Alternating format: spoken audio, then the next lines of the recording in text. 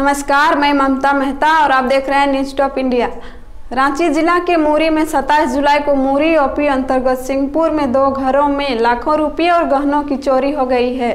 Singhpur nursing home के staff Dinesh Mahato अपने किराए का मकान में रहते हैं। रोज के भांति अपने रात्रि में ड्यूटी करने के लिए सिंहपुर नर्सिंग होम गए थे। सुबह ड्यूटी समाप्त होते ही अपने घर पहुँचे तो देखा कि घर के दरवाज़ा का ताला टूटा हुआ है।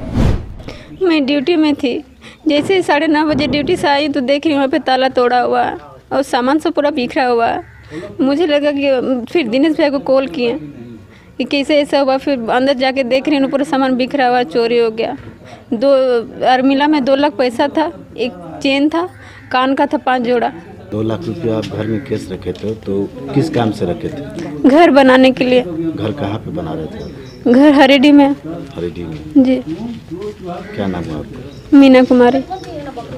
सर हम लोग को जैसे डिप्टी तो हम चल के पाँच बजे चल गए सिंहपुर हॉस्पिटल।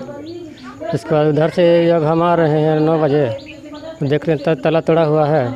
और मेरे घर में जो गहना था पैसा था सब नहीं हुआ।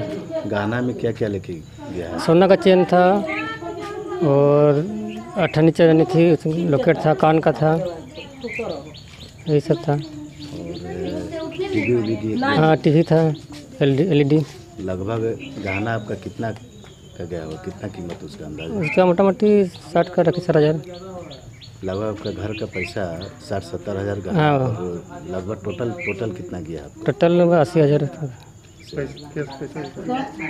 कुछ कुछ नगद पैसा भी आपका नगद बीस हज़ार नगद था। क्या नाम है आपका? दिनेश कुमार महतो